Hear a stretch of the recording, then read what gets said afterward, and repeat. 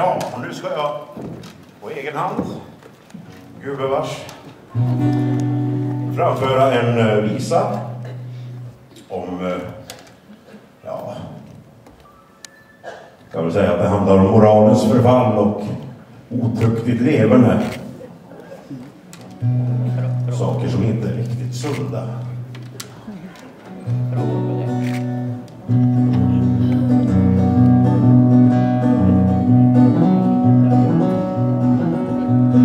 Träffade jag Marie-Louise och jag så tror jag blev kär. Vi tänkte väl förlova oss men pappa sa tyvärr. Och fingrarna ifrån dagen så skyarna som fest. För du och hon har samma far och då blir det incest. Och det är ju bra. Så träffade jag Linnea och vi prasslade en tid. Sen kunde det inte hjälpas att Linnea blev gravid. När hennes mor fick se min far så ställde hon upp ett tjut. Linnea var min syster och så fick vi göra slut.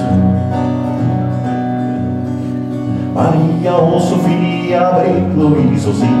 Ja, hundra andra damer fick jag stryka med mitt liv. För pappa kände deras mor och sa det till direkt. Och kan du inte gifta för det är faktiskt släkt. Och min mamma hon var ju väldigt klok och förstående och väl insatt i situationen kan man tänka. Min kära son, sa då min mor i räcker enkelhet. Din pappa är en jävla bock som alla människor vet. Och alla dessa damer är han säkert upp till. Men han är inte far till dig, så gift dig med vem du vill.